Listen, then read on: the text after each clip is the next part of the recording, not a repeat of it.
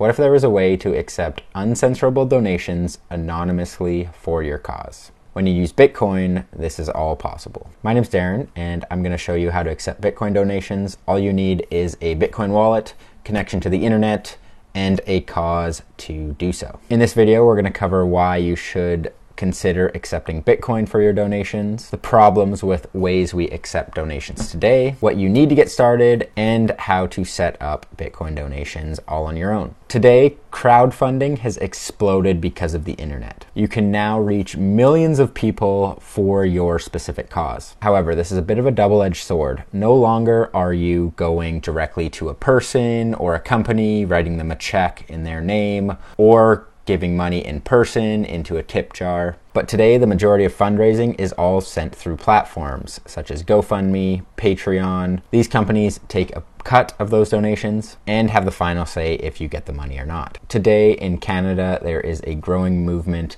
where not only Canadians but people from around the world have donated, donated millions of dollars for this cause. The problem is the company GoFundMe, who hosts the crowdsourcing platform and also holds the money on the senders and the receiver's behalf. They have the say to whether it is legal, moral, just. Even though people from around the world have voted to donate to this cause, GoFundMe will have the final say on who gets that money, if they run away with that money, if they freeze that money, if they refund that money. So we're going to go over some reasons Bitcoin donations might be far superior for your fundraiser. So the first problem Bitcoin solves for donations is custodial risk. A peer-to-peer solution cuts out that middleman and ensures the sender and the receiver always have the funds. There is nobody in the middle holding or choosing where your money is going to go. Number two, they are accessible worldwide. All people need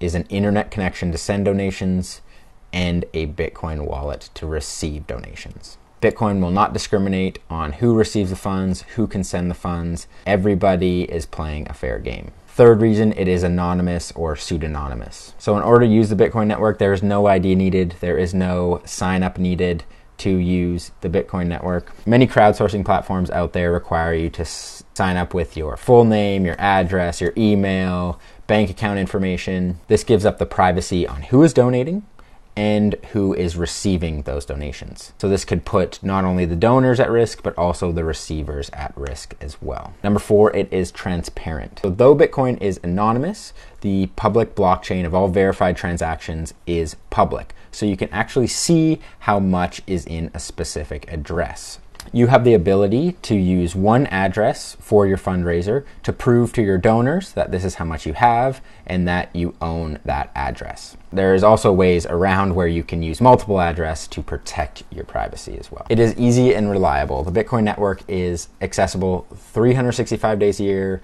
24 hours a day, seven days a week. It is not going to go down like a crowdfunding platform. It is not going to have maintenance like a crowdfunding platform. Transactions can be done instantly without having to wait till 9 a.m. Monday morning to get your funds cleared. So, we're going to talk about the easiest way you can set up Bitcoin donations for your cause, and that is with Tallycoin. So, it is 100% free to get started. Pros of Tallycoin is that you can create a crowdfunding platform with a dedicated page and a goal for your cause. You can get Bitcoin sent directly to your personal wallet or your company's wallet. They have Lightning and on chain payments in the exact same fundraiser page. There is a website plugin that you can add to your site, and there is the ability to connect to your own node. So, to get started, the first thing you need is a Bitcoin wallet. And I have a lot of videos on my channel on how to choose the best Bitcoin wallet for you. So, once you get started, you can create an account on Tallycoin. All you need to do is put in an email and a password, and then you'll have an account. So, when you log in, you can log into your dashboard, and this will bring up all the settings on Tallycoin.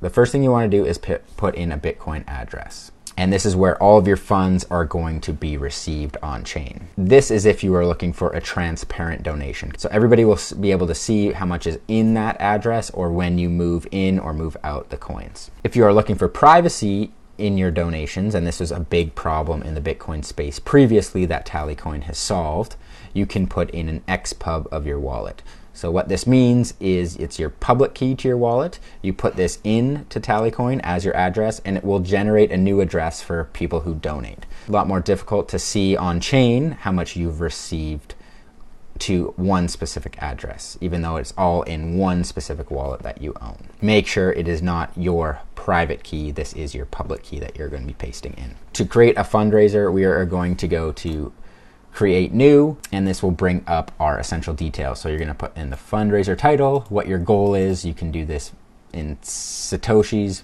Bitcoin, or USD.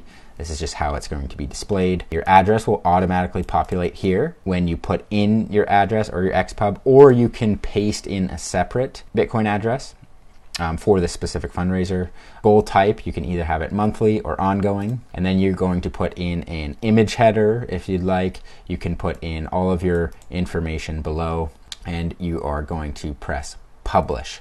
And once it's published, it will be public on Tallycoin's Explore page. So you can see here, these are the most popular. So this is what will look like to the public. So if we are donating, you have this box here where you can choose how much you're going to donate in your specific currency. You can write a public message, and then once you're ready, you can press on chain.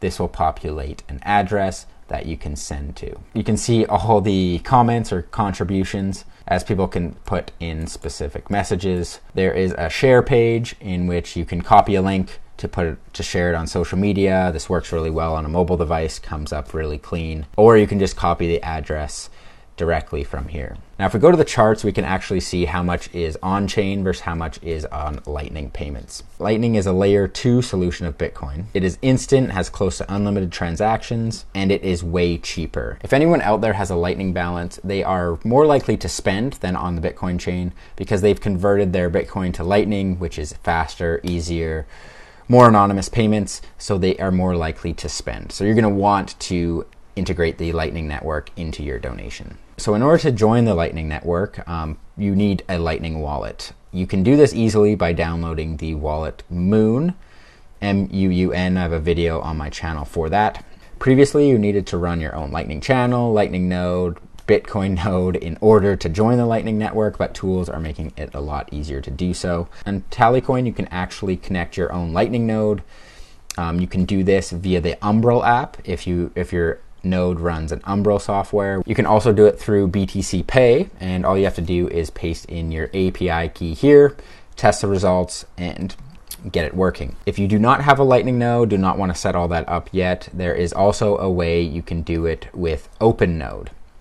And this is pretty much a Stripe for Bitcoin. It is a service that allows you to create invoices, have add to cart features, does all of the hard stuff in the background for you, and you get your money sent directly to your wallet. Now it is KYC'd, so this is short for Know Your Customer rules and regulations created by governments, which make you take all of your personal information, including address, where you live, phone numbers, emails, what your company does, what income level they expect to use on the platform. It is an easy way to accept Lightning payments if you don't know anybody who has a node or if you don't have a node yourself. So that is how you crowdfund Bitcoin donations for your fundraiser.